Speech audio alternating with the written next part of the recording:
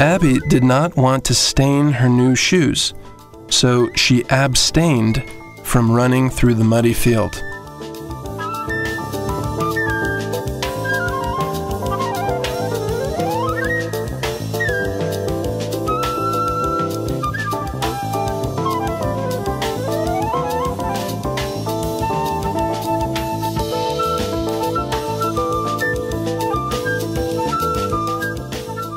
The greatest masterpiece of evolution.